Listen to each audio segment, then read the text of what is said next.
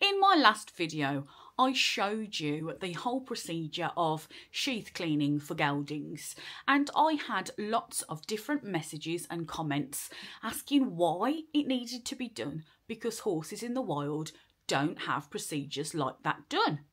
This comment in particular really stood out to me, and I thought what a great idea for a video comparing the lives of wild horses to their domesticated cousins. And then I could answer loads of the questions that were put forward to me. And that way I could really help to clear up some of the misconceptions. So come with me on this journey into the world of horses, from hoof health to overall well-being.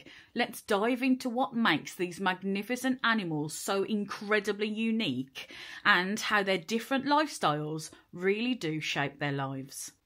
So I'm going to break this video down into seven different sections and the first is going to be all about hoof care. Wild horses roam vast areas, naturally wearing down their hooves as they travel across rocky grounds and soft soils. This constant movement keeps their hooves trimmed and really healthy, but it's not always perfect. Wild horses can suffer from hoof injuries that, without intervention, can lead to severe problems. These injuries might occur from sharp rocks or uneven ground and without proper care, that can lead to lameness or even death. Whereas domesticated horses have the benefit of a regular farrier visit who always make sure that their hoof is balanced and trimmed and looking smart. This service really is a luxury for a horse, and the procedure should be carried out every six to eight weeks. A horse's feet has to be trimmed in order to prevent overgrowth or uneven wear.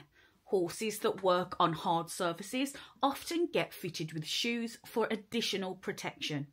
This routine care helps prevent many issues that wild horses face, ensuring healthier hooves and fewer injuries.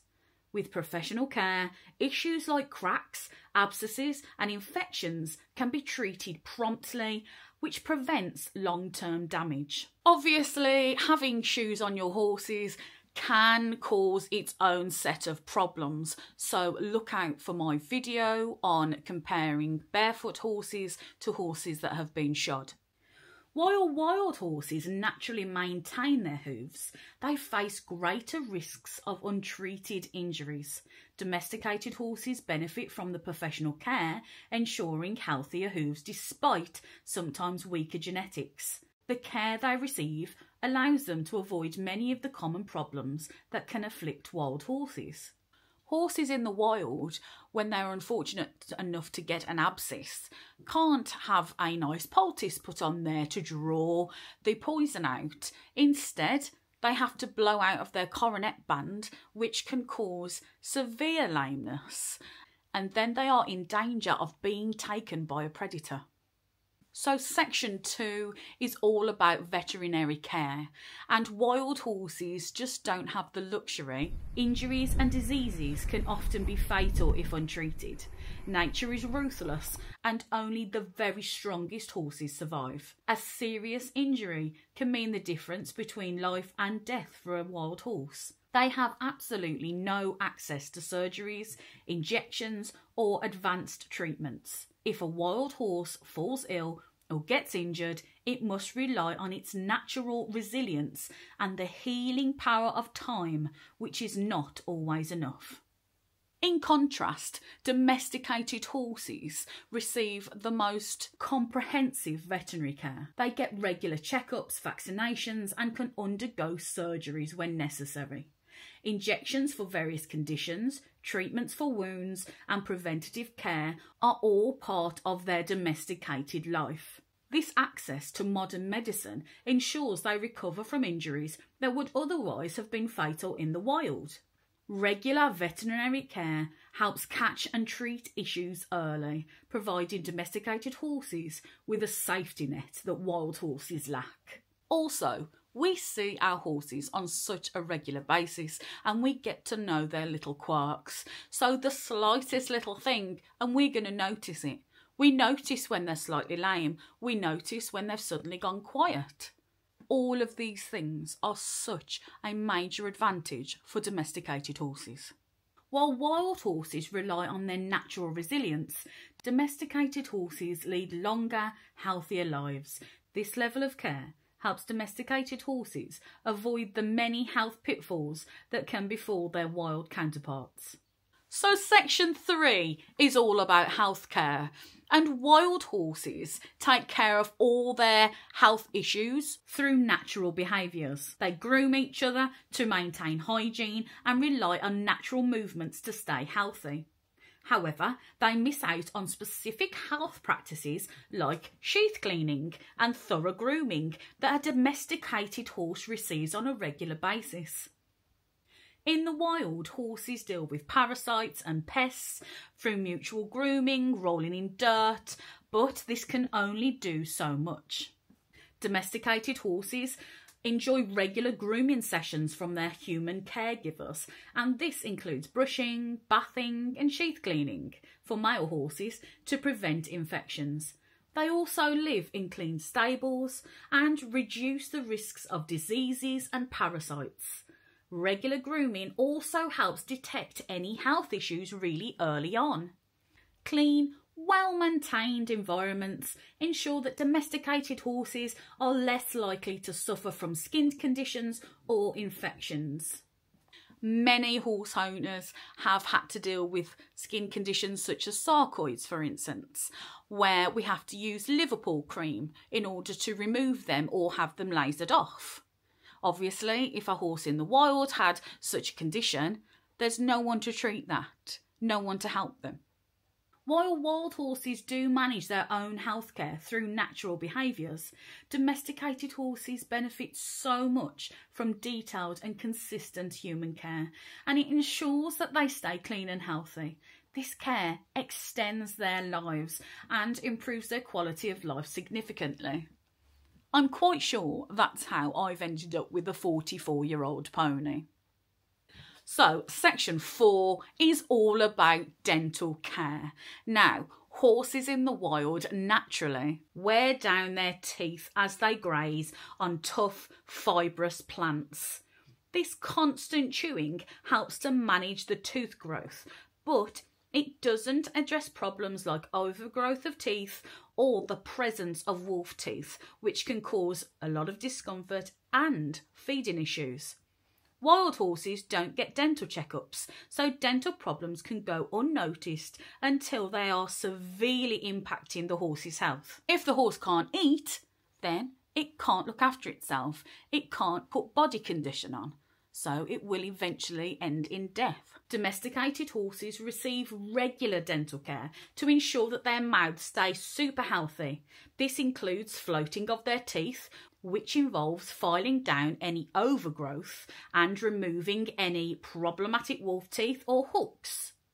Such care ensures that they can chew their food properly and avoids dental pain or malnutrition. Dental issues like sharp points or uneven wear are managed effectively and quickly with regular care. This really does improve the horse's overall well-being and proactive care helps prevent the pain and complications that can arise from untreated dental problems. Section 5 is all about food and nutrition. Now, wild horses have to eat literally whatever they can find, and that changes with each season. So, during the harsh winters and dry seasons, they might struggle to find enough food. This scarcity can lead to malnutrition and affect their overall health and survival. Their diet depends completely and solely on the natural ability to forage, which can be unpredictable and insufficient at times especially if they have gotten an injury like something that we've spoken about earlier in this video. Domesticated horses on the other hand have a steady year-round supply of food and it's good quality food. They are fed a balanced diet of hay, different grains and supplements that they need to ensure they get all the necessary nutrients. Special supplements like those for joint health can also be included to address specific needs. This consistent and balanced diet supports their overall health and prevents issues related to poor nutrition. Domesticated horses also have regular access to fresh water, which is crucial for their health.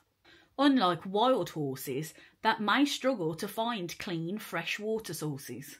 So, section six is all about exercise and movement. Now, obviously, horses in the wild travel for so many miles a day. They are constantly having to move over terrain and move from one area to the other to make sure they've got enough food and enough water. This constant movement keeps them fit and promotes healthy blood circulation. It also helps wear down their hooves and keeps their muscles super strong. The vast open spaces they live in allows them to engage in natural behaviours and maintain their physical fitness. Domesticated horses, however, often have less space to roam, but they still get regular exercise through riding, turnout in paddocks, and training sessions. Structured exercise routines help maintain their fitness and prevents boredom, and keeps them mentally stimulated owners ensure that their horses get enough physical activity to stay healthy and happy. However, and this is a big thing, some stabled horses do not get enough exercise and they do not get enough outdoor time. This can then lead to potential health issues like muscle atrophy, obesity, and behavioural problems. While wild horses benefit from natural continuous movement, Domesticated horses do get a very structured exercise program that helps maintain their physical health and mental well-being, despite having less space to roam freely. I don't know about you, but me personally, I think I'd prefer to be out in the wild doing my own thing than being cooped up constantly in a few acres field with fencing all the way around it. So I really want you to think about that when you're taking your horse out and make sure that you take them to some really interesting places and different places to ride just so they're more stimulated. Section 7 is seasonal care. Now, wild horses grow really thick winter coats in the colder seasons. These thick coats protect them from the cold and wet conditions. This natural adaptation helps them to survive harsh weather, but they still face significant challenges. Without human intervention, finding food and shelter does become a daily struggle, and harsh conditions can take a toll on their health. Domesticated horses are often provided with rugs in the winter to keep them warm and dry. They also benefit from the warmth and protection of stables and field shelters, which shield them from the elements. This care prevents the stress and health issues that wild horses face in extreme weather conditions. While wild horses rely on their natural adaptations to survive winter, domesticated horses benefit from additional human care, ensuring they stay comfortable and healthy during the colder months. So, as we can see, wild and domesticated horses really do lead significantly different lives both have their own set of challenges and, of course, benefits. Wild horses enjoy the freedom of vast open spaces and a life that mirrors their natural instincts, but they face really hard conditions and lack of medical care and correct injections that will keep them healthy. Domesticated horses, on the other hand, benefit from consistent care, including regular hoof trimming, veterinary attention, and nutritional supplements. But some may suffer from confinement and lack of natural exercise.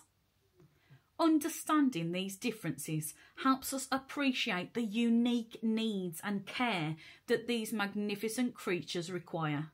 So thank you so much for coming on this journey to show the difference between wild and domesticated horses. I would love to read your comments in the comment section below and I make sure that I answer every single one of them. Don't forget to like this video if you found it useful and remember to subscribe so that you never miss one of my videos. Thank you for watching and hopefully I'll see you in the next video.